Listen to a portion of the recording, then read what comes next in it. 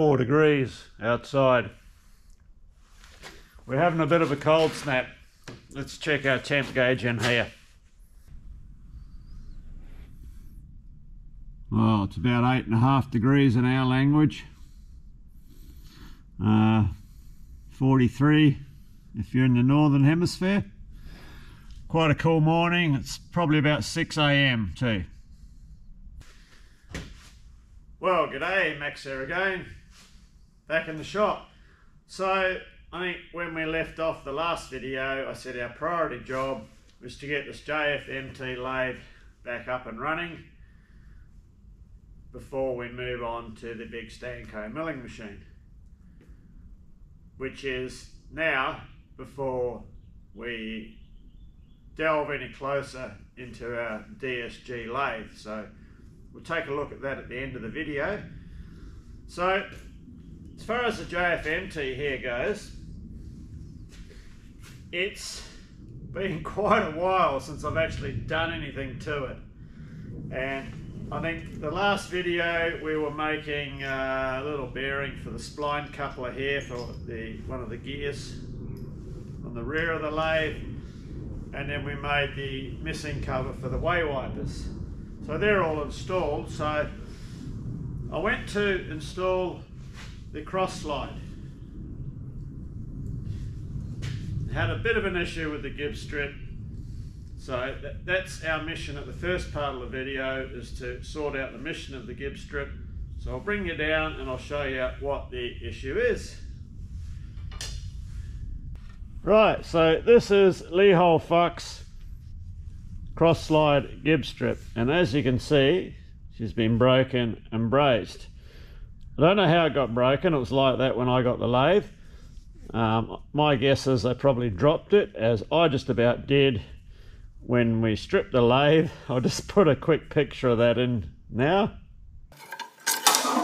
Oops, just about dropped it and broke it again.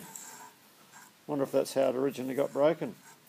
And yeah, as you can see, it nearly came straight out of my hands there too.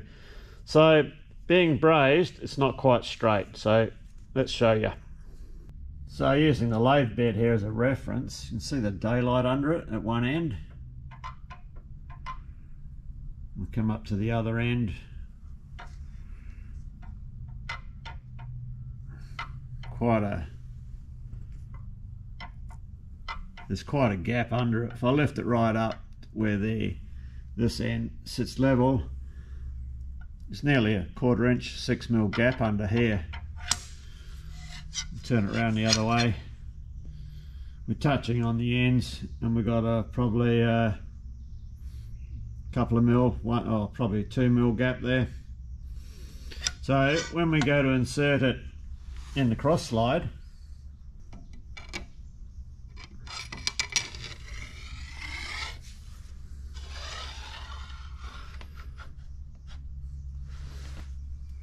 starts to tighten up there so we've still got 150 mil to go. Now what I can push that in by hand and force it in and that's the way they had the machine.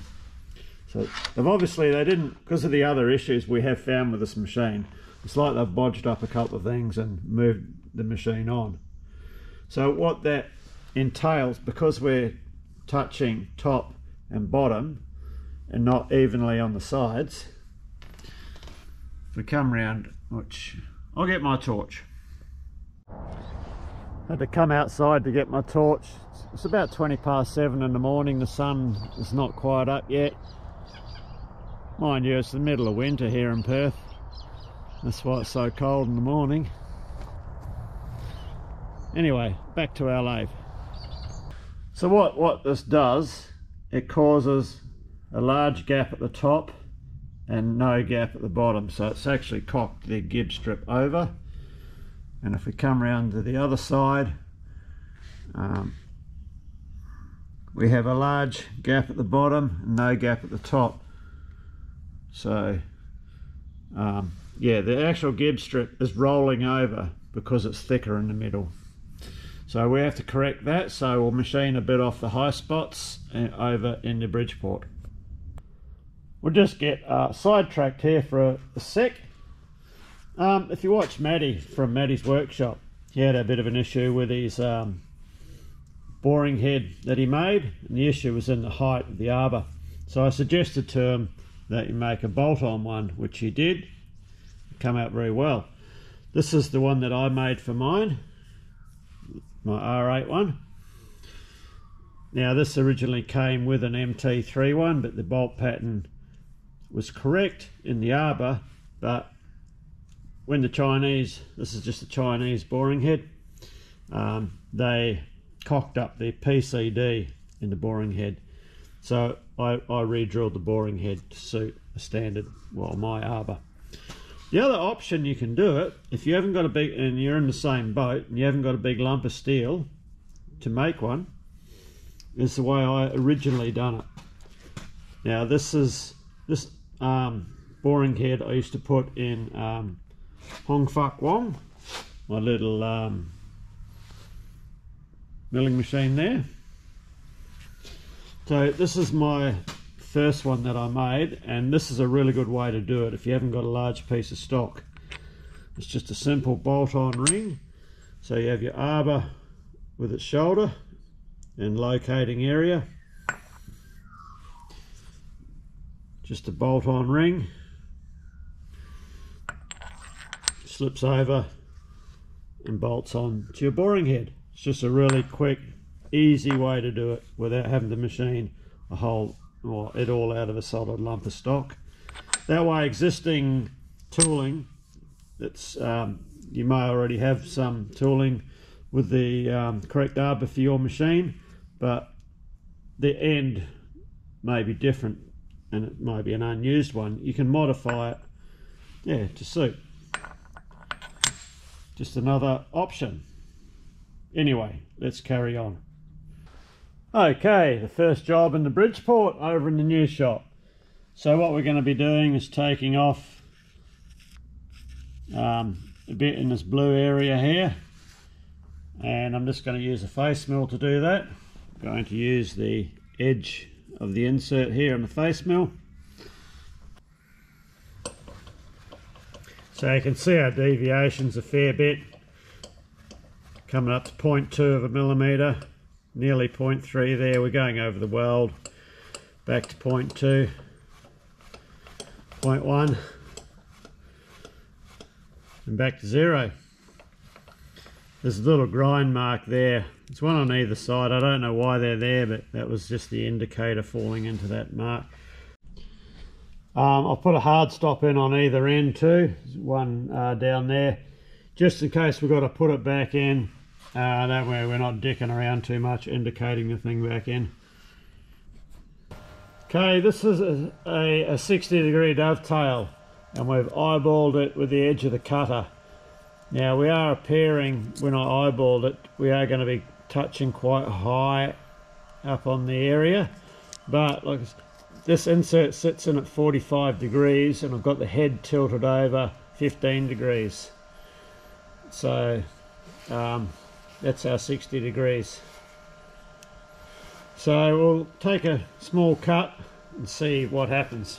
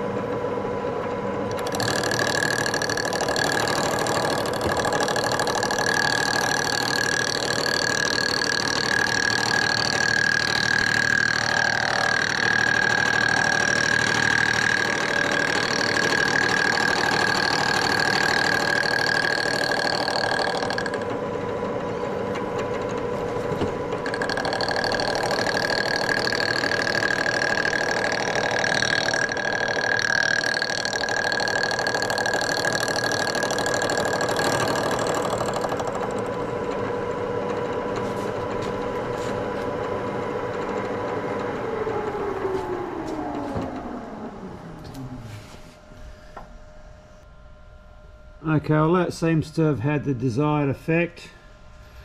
So I think we'll just go a fraction deeper and see uh, see what it looks like.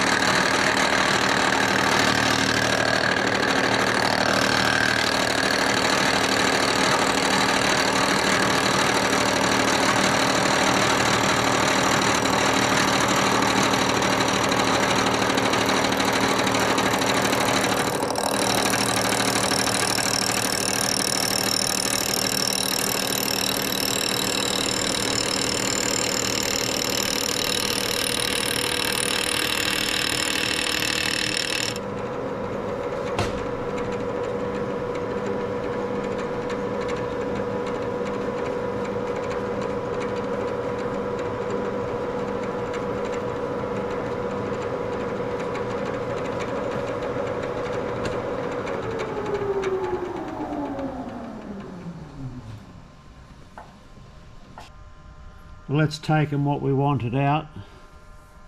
It's, it's ran out faded out down there. Sort of fades out down here. Right we'll see how this lies now. So we had a quarter of an inch six mil gap under there before. So looking now I'd say we've probably got no more than a 20 thou, half a mil gap. And I can, yeah, that pushes down quite, quite easily. So that's quite good now. That's 100% on what it was. So let's um, have a test fit.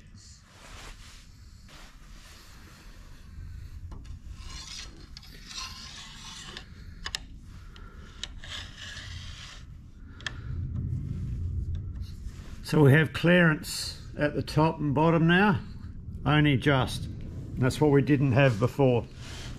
So that was causing the gib to rock over and that was that was giving us our gaps and tight spots here before.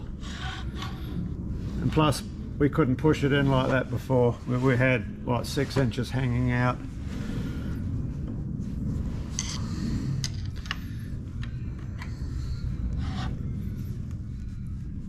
Okay, let's get our screw in position.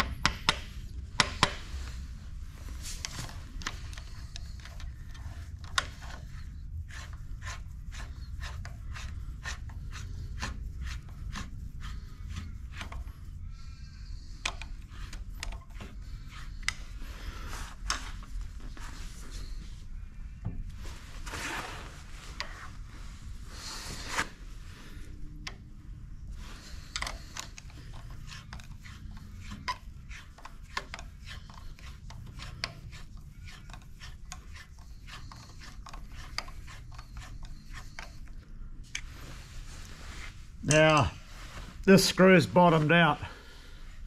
And our gib's all the way and flush here. And I can still move the compound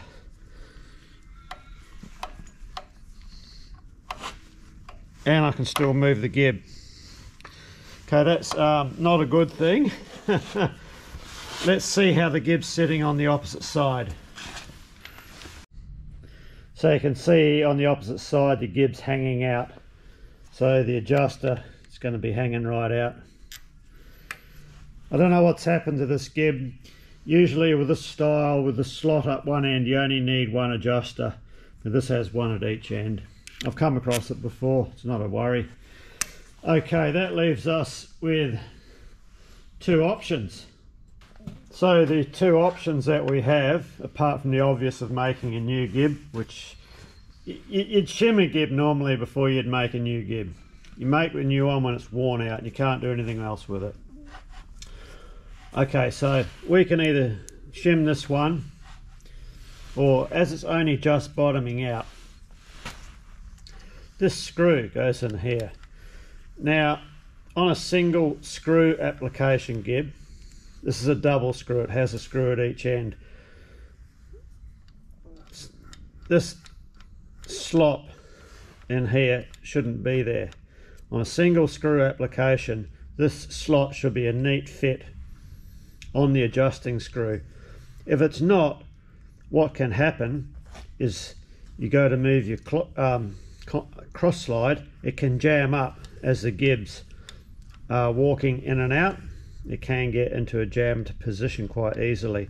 So I think we'll push this back in and just see where the end of the slot lays in relation to the inside of the hole. And that'll give us a determination which way we go, whether we shim it or we cut another slot further down here or even right in the very end of it.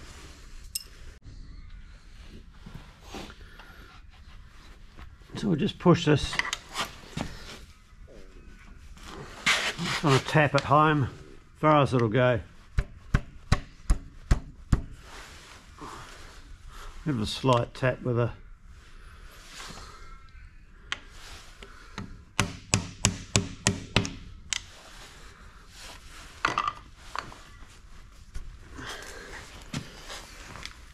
Okay, that's tight there. So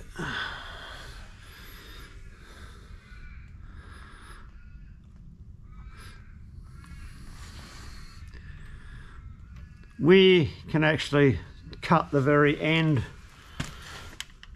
of our adjuster. If I go around the other side.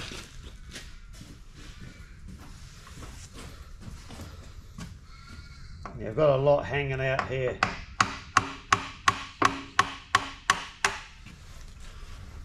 Just tap it out so it's flush.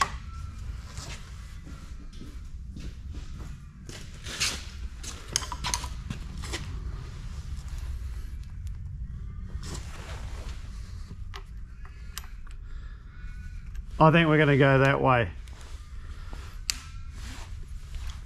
I think.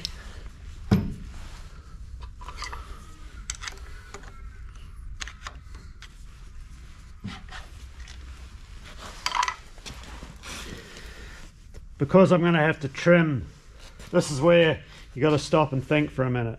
I'll show you around the other side. I think we're going to cut the slot just in from the end. That's a neat fit on there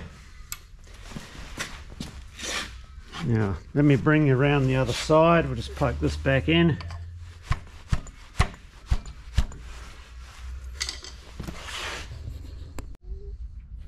so we've got this overhanging here now now, that gives us another two options.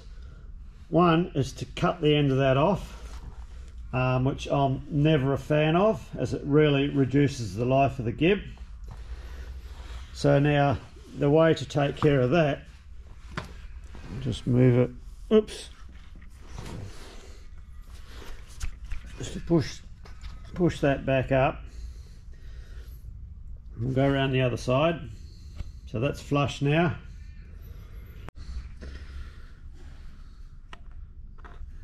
And our slot's got a way to go before it bottoms out against the base of the hole in there. So that brings to the thought of shimming the gib. In this case, to me, this is possibly a better option than cutting another notch in here and shortening the gib up. So let me see what shims we've got. And one other very important point you have to consider, because I've been caught out with this before, is your way wiper in relation to where the gib sits in the front. So the way wiper goes up like that. So you cannot afford to have the gib poking past this casting any more than what it is. So in actual fact, it needs to sit up inside a little bit to allow for future adjustment. Now if we go to the rear, so in the rear, it looks like it can hang out fine all day long without any dramas as the wiper sits above it. It's just a single strip top cover wiper. I'll have to verify that in the parts book because this is all only bit I don't have any other bits for this but yeah I will check the um, parts book as it was so long ago when I pulled this apart so we can have some hanging out the back and we cannot have anything hanging out the front. Let me go and dig up some shims. Just to look out the side door of the shop. Nice day for the middle of winter.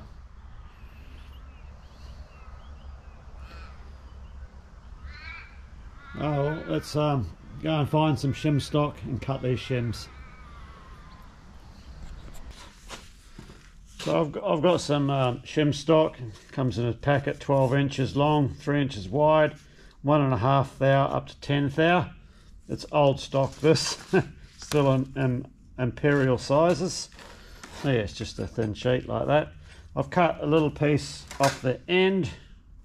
I'm just going to stick it in, just the end. I just want to see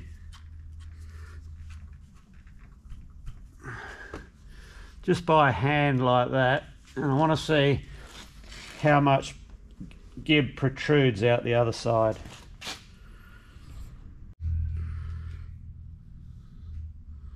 So looking there, we're not far off flush. So it's looking like we'll need a bit thicker than 10 thou. So I might have to double it up and put in probably a 6 thou shim behind it. We'll see how that goes. But let's cut our 10 thou ones out first and we'll put them in.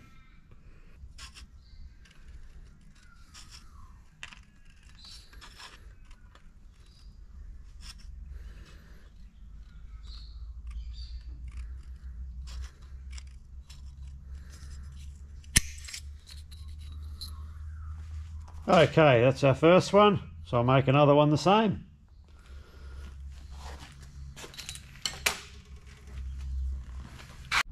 Right, we've cut our shims. Now, I realise it is slightly unorthodox having to cut two shims, but this was the longest shim stock that I had.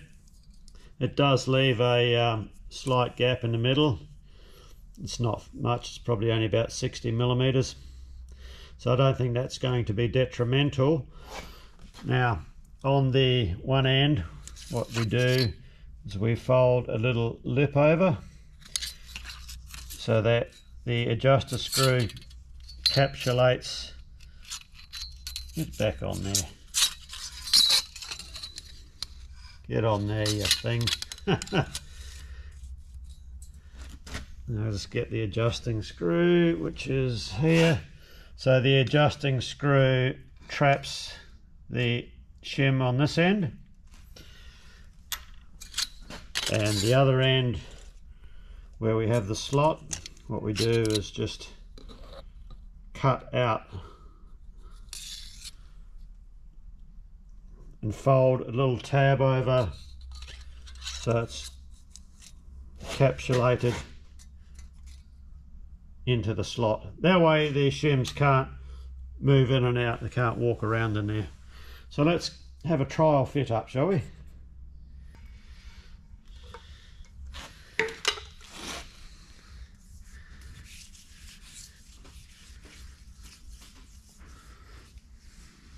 Plenty of lube. You know the story, eh, Ralphie? Okay. So the first one is one with the um, folded end.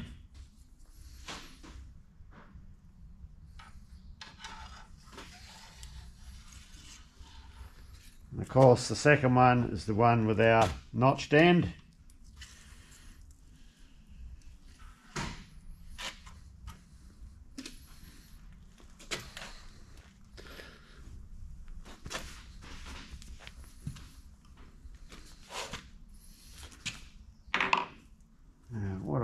do is make sure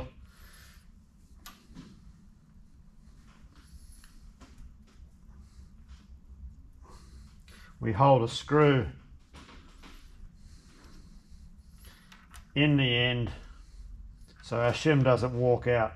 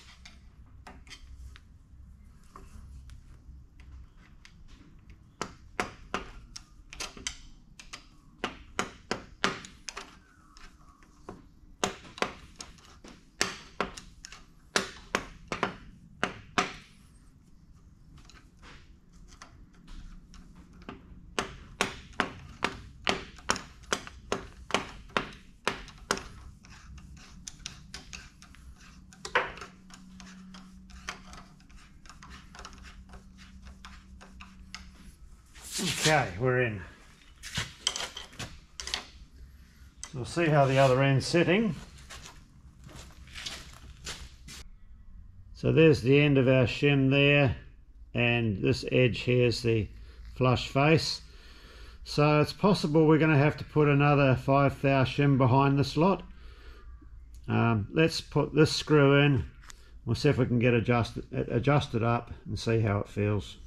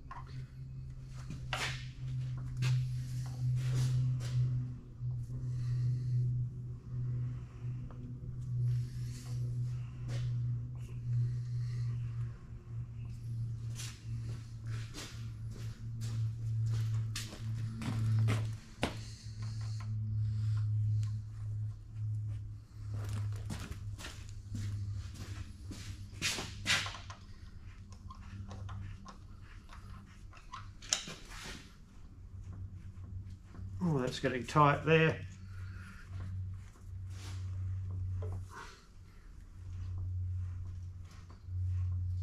Feels nice and even. But, little problem here. Swing you down. As you can see, our adjusting screw is sticking out. So you can see the imprint on the way wiper before where the adjusting screw was contacting the, the wiper. So, and that's the adjustment on that at the moment is good. So I think what we're going to have to do is put another possibly 5 thou behind those shims. So it's looking like we need a 15 thou shim which I don't have. However, uh, we've got a 4 and a 6. I think I'll go for a 6 and we'll double up the shims. Um, one thing doubling up the shims like this, as far as I'm concerned, it's not really recommended practice, but if that's what you have to do, that's what you have to do. I'll have a, um, another quick search around to make sure I do not have anything which is 15 thou thick, which would be the ideal solution. Other than that, yeah, I'll just cut out another couple of shims and we'll have another crack at it. So the 6 thou ones that I cut out were too thick, so I've made a pair of 3 thou ones and they seem to be sitting in quite good.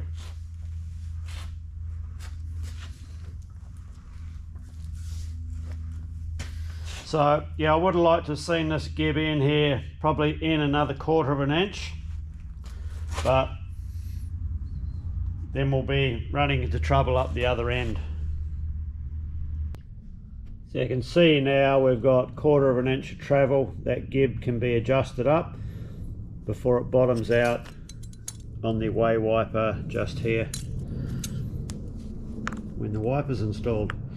So yeah, we are hanging out at the back. Probably 20 millimeters. I would have liked to have seen that in a bit further, as I said, but it's going to interfere out here and I'm not cutting the gib down. That's a surefire way to reduce the life of it. So, right, let's get on to this. On our cross slide lead screw, this is the arrangement for taking the backlash out. So it has this center portion here, which gets pulled up by this cap screw, which would mount in this hole. So with it pulled all the way up, once it becomes flush with these two surfaces, there's no more adjustment left. So I'm just going to put this in the milling machine. We'll just take probably 2 mil off this top surface and that'll give us plenty of future adjustment.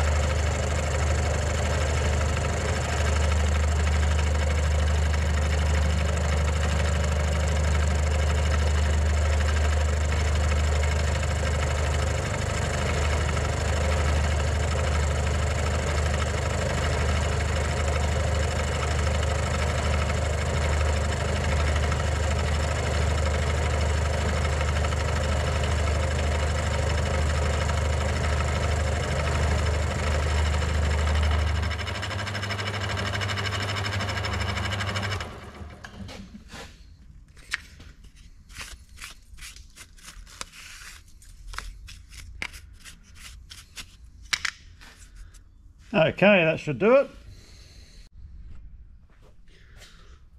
Hong Fuck Wong here, making parts for his Chinese brother, Li Ho Fuk.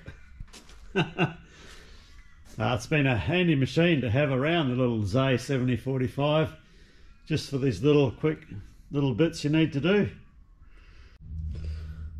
Okay, now you can see we've got some adjustment here for the spreader come up before it hits flush level with the two nuts. So yeah, as this comes up, it spreads the two nuts apart and takes up the backlash. Right, we're all oiled up, ready to go. Now this shaft is a bit different than your normal lathe cross slide screw. It's a two-piece screw, so it has a keyway in there. And you might be able to see, if I get my torch, you look down that hole, you can just see the end of the shaft from the hand wheel. Okay, that, that shaft has a captured um, key in it, which lines with this key here. This allows this whole shaft assembly to slide coupled with the top part of the cross slide. It enables them to slide in and out independently of the hand wheel control.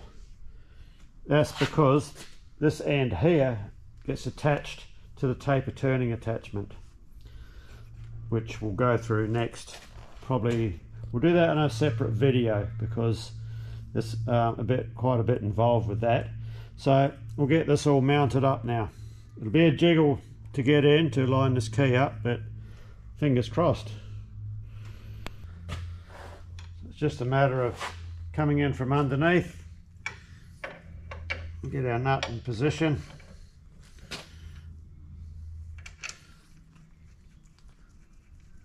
I'll just put one screw in to hold it finger tight for now. So what we've got to make sure that the keyway in the other part is in the 12 o'clock position.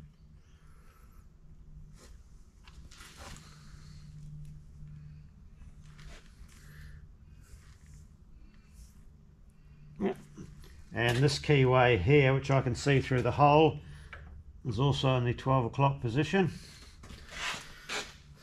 Now hopefully with a small amount of jiggery we can make the two couple up.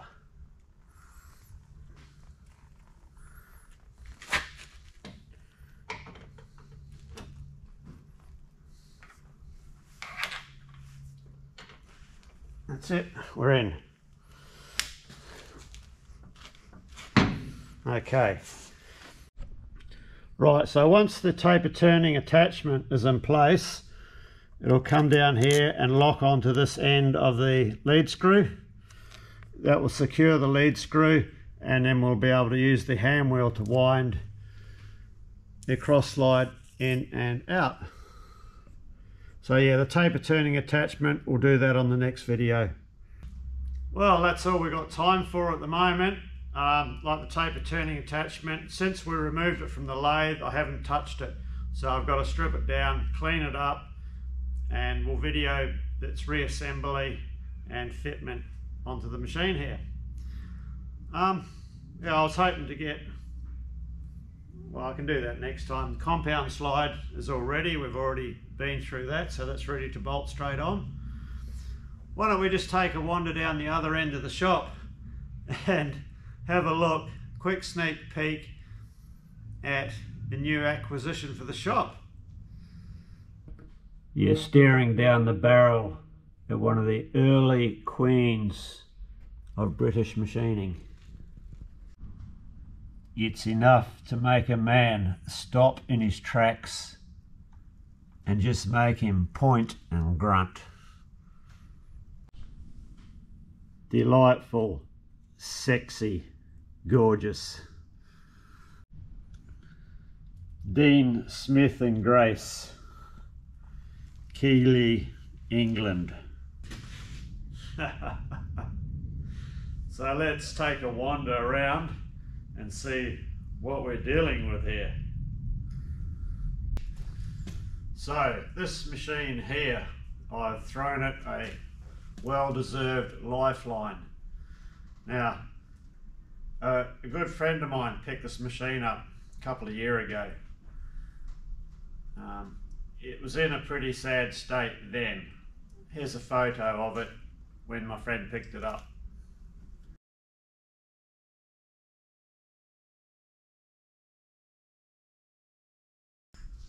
Okay, so he had full intentions of um, cleaning, cleaning it all up and seeing if he could use it in his workshop. He has a fabrication shop.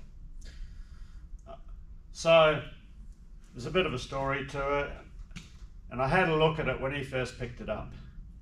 It was still in its um, colours, wasn't painted grey. The machine is ex Midland Railway Workshops which is just down the road. Now, after the machine left the railway workshops, when all of the machines were stripped out of there a long time ago, it ended up at a property just up the road from here. So, your friend got onto it, took the machine back to his workshop, and I went down and had a look over it for him, and I was quite surprised at the condition of it. So, he had someone in to wet blast just the trip, uh, the chip tray. I said to him, don't paint it, just clear coat the thing and leave all its original railway workshop patina on it. So, long story short, it ended up getting, uh, the whole machine got wet blasted. So, my friend then painted it, and it is as we see it now. Lucky they did a really good job and all the irreplaceable um, name plates and tags on the machine have not been damaged in any way, so that's good. So I knew this machine was coming up for a fair while and I had totally dismissed it. It took a lot of um, thinking. I just, just, I had to get it out of my head from, from, from getting hold of it because I, am quite full up here. So I was at my friend's fab shop to get some um, other bits done for myself and he said this DSG it has to go it might even be going for scrap well that flicked the switch in my head as soon as he mentioned scrap I said to him there's no way you're scrapping this machine I will take it off your hands which I which I promptly did. So here it is. Um, let's have a walk around. It will be a future project after we've got the JFMT up and running and the big Stanko milling machine up and running. So let's show you what we're dealing with. So as you can see, she's a she's an old girl. This one, old flatbed lathe. Has a decent size, 3 and 5 8 inch spindle bore, through bore. 6 foot 8 inch bed length old flatbed machine. It's in quite good condition for its age. Talking about, well, its age, I don't really know what year this is. There's well, I couldn't really find any information apart from like what's already out there, which is the same as what I've got for the handbook on the lathe. But what I could find, it seemed to me like DSG went to a direct drive mounted motor, um, I think around about 1940. So if we look at a picture in this book here, so they have the motor directly mounted on the back. Okay, so this is quite likely a slightly later model one than my one, as it looks like an isolator switch here, and the pump and all that for the um, headstock is internal. So we swing around to this one, the headstock oiling pump is external. So in the early days of Dean Smith and Grace, as I, from what I can find out, they were open to changing the arrangement of the machine slightly for the custom to suit the customer's needs. Obviously, that changed later on. So we're not sure what's actually gone on here. There's this drive um, unit here. Now, I don't. I think it's it's it's after the line shaft era. It has to be. I think because it's got all its electric switches here for the electric motor. So it possibly was optioned. Yeah, you, you just put a remote mount motor. Now the motor for this machine is on a bit of a hinky frame that, that bolts on here. This is the motor. It's a 10 horsepower motor. Name tag says it was made here in Perth, Western Australia. Now this would have been a long time ago because we don't make stuff over here anymore. And like the, the frame, it's a bit of a hinky homemade frame probably made in the, well, well, was made in the railway workshops. So that leads me to believe is this ex drive extension early DSG or was this one that they cast themselves in the workshops as they did that sort of thing? Excuse me. So over its years, the machine's copped a, a bit of damage. There's a lot of breakages in some of the castings here. So I do have a lot of the bits and pieces for the castings. So we'll show you um, on the bench over in a minute. We do have a um, fair bit of cast iron welding to do. so I, would really like to go through this machine and bring it right up to scratch. Um, how far I go determines will be determined by when I measure up the bed and just check what wear or what wear isn't in the bed. oh, excuse me. And same with the spindle. It's a plain bearing spindle machine. So we'll do some measurements here as well and that will like determine how far we go. But hopefully I'd really like to see this machine back in really good condition and use it in my shop. So the machine, it's a 17 and a half inch swing machine. It has a threaded spindle plus the, this driving flange. So this is to mount the chuck on. It came with a, a really good 20 inch four jaw chuck with no wear in it whatsoever. So yeah, 10 horsepower motor. The model of the lathe is a 4BN top spindle speed a whacking 418 RPM. So we'll actually put, when we got the motor coupled back up, we'll put a tacho on and just check to see if the speeds are true to the plate being um, not we don't know what if the, the pulley size on the motors are correct for those speeds or not.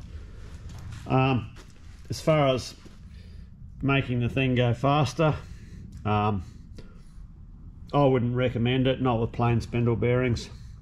If that's what DSG had for the max speed, well, that's what it will keep. But we'll, we'll check it with a tacho. So all electrics on the machine um, have all been checked out. Um, I could put that motor on, plug this thing in and switch it on. So the electrics have been done. So there's nothing um, I have to do there. So yeah, that's what it should look like. And that's what I'm going to be hopefully aiming for with the this restoration.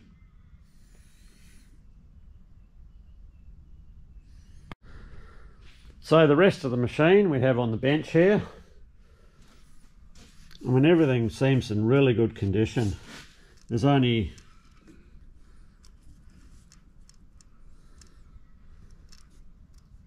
five thou backlash in the compound. I think there was about 30 thou.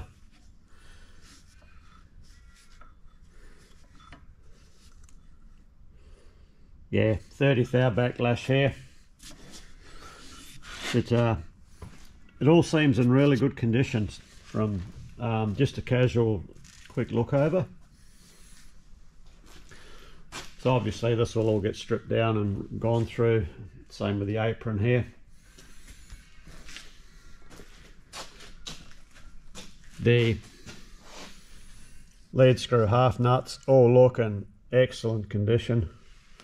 Even the wear on the drive pinion, there's not there's no wear in it. So it's had a bit of a bingle at some stage in its life It's been welded um, the, bra the bronze feed nut, feed drive, it's all in really good condition. She's a solid machine. Here's the tailstock. So for a number four Morse taper, that's a three and a half inch diameter quill. That's huge. That's solid. They don't come any more solid than that. Solid as a rock of Gibraltar. So we've got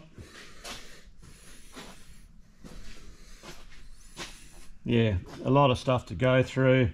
We've got a lot of handle repairs to do. There's most of the handles have been broken. I actually think this lathe has fallen over at some stage and been bumped into a few times. so a bit, bit more cast iron repairing to be done. There's the bits off that other bit on the coolant drain. Of course the, the, the covers for the engine oil pump. All the badging is all in really good condition still, which is surprising. And check this sexy beast out here. This is the coolant spout. That's like a inch solid bar. All the brass work.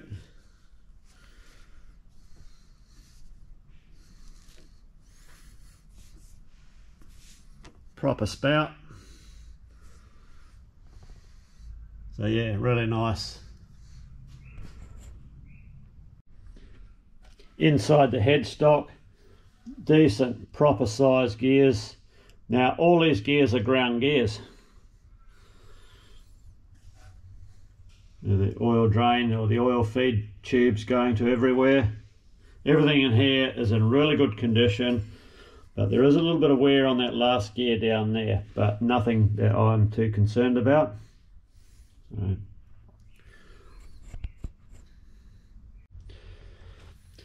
So it has a lead screw reverse lever here. This reverses your feeds as well. Now this is supposed to be set up for when you're screw cutting metric threads as this machine doesn't have a spindle reverse. You can reverse the direction of your lead screw without de-pitching your thread to come back for another cut. But there's no slop or anything in any of these gear change levers. Everything's real, really nice. And like, you shift the gears, one finger. you know, effortlessly. Well, yeah, I think we'll button up this one here. So, yeah, no, this will be a really interesting project, this one, when we get to it. so, anyway, cheers. Thanks for watching, and uh, yeah, we'll see you in the next video.